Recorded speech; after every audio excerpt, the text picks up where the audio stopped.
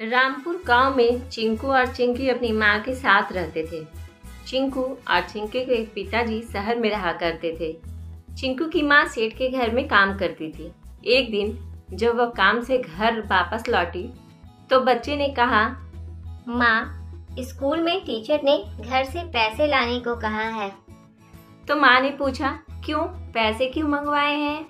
तुम लोगों की फ़ीस तो मैंने जमा करा दी है तब बच्चों ने खुश होकर कहा, माँ, तुम्हें मालूम है, अभी होली आने वाली है और हम सब स्कूल में होली खेलेंगे।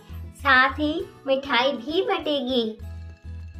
टीचर ने कहा है कि अपने अपने घर से रंग गुलाल लाना और मिठाई के लिए पैसे भी ले आना।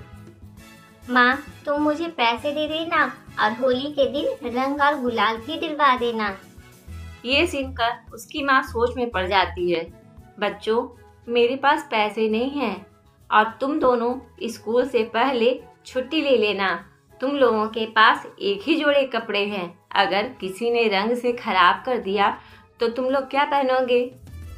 उसकी माँ की बात सुनकर बच्चे रोने लगते हैं और बच्चे रोते रोते कहते हैं, माँ, हम इतने गरीब क्यों हैं कि होली भी नहीं खेल सकते? इस बार हम होली ज़रूर खेलेंगे। अगर हम दोनों स्कूल नहीं जाएँगे तो हम लोगों के लिए घर में गुजिया और मिठाई बनाओ और गुलाल पुचकारी ला देना। हम लोग घर पर ही अपने दोस्तों के साथ होली खेल लेंगे। तो उसकी माँ ने बच्चों को शांत करने के लिए बोल दिया कि ठीक है, होली आएगी तब देखेंगे। और स्कूल के कपड़ों को बचा कर रखना, उसमें रंग ना लगने देना। होली से चार दिन पहले बच्चे घर आकर माँ को बताते हैं। माँ कल स्कूल में होली है परसों से छुट्टी है। तुमने स्कूल जाने को मना किया लेकिन अब आप हम दोनों के लिए घर में गुजिया और मिठाई बना दो। तो माँ कहती है अच्छा कल बना दूँगी। कल उसकी माँ सेठ के घर में काम करने जाती है। सेठ जी मुझे कुछ पैसे उधार दे दीजिए। मुझे अपने बच्चों के लिए होली में गुजिया और मिठाई बनानी है।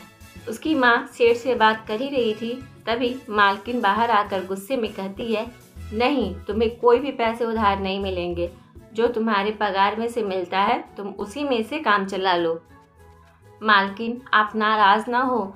मैं तो सिर्फ़ अपने बच्चों को खुश देखना चाहती हूँ और लोगों के लिए, होली के लिए गुलाल रंग मिठाइयाँ बनाना चाहती हूँ।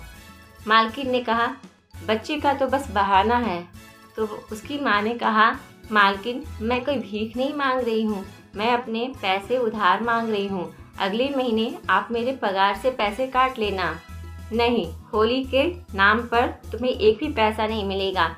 काम करना है तो करो, वरना मत करो। कोई मजबूरी हो तो उधार दे भी दे। लेकिन मौज मस्ती के लिए मैं एक भी पैसे तुम्हें उधार नहीं दूँगी। बच्चों की माँ वापस घर आ गई। उसने बच्चों से कहा, बच्चों, मुझे पैसे नहीं मिले हैं। इसलिए अब हम तुम लोगों के लिए पकवान नहीं बना पाएँगे और हम होली भी नहीं खेल सकते हैं।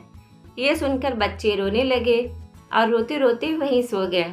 लेकिन उनके पड़ोसी ने उनकी मदद की। उन्होंने अपनी मिठाइयाँ, गुलाल और उनके बच्चों के साथ शेयर किया, जिससे वे अपनी होली खुशी खुशी मना सके। इसलिए इस कहानी से हमें ये सीख मिलती है कि कोई भी अगर अपने त्यौहार मनाने में असमर्थ है, उसके पास पैसे नहीं है तो हमें ऐसे लोगों की मदद ज़रूर करनी चाहिए जिससे उनका भी फेस्टिवल हँसी खुशी बीत सके।